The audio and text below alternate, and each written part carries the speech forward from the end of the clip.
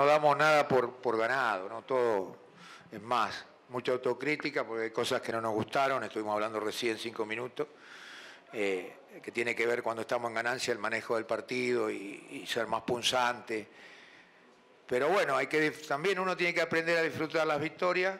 Eh, hoy ya mañana empezaremos a pensar en, en otra historia que es el domingo.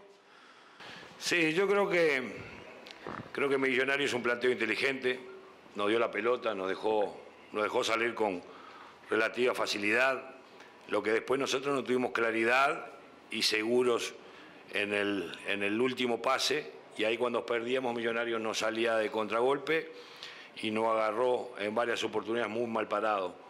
Un partido para nosotros muy importante, eh, donde estamos de local, donde hoy teníamos que marcar esa diferencia, pero, pero bueno, yo creo que eh, ya esto hay que dejarlo atrás, hay que pensar en lo que se viene y obviamente pues ir a dejar la vía a Bogotá para clasificar.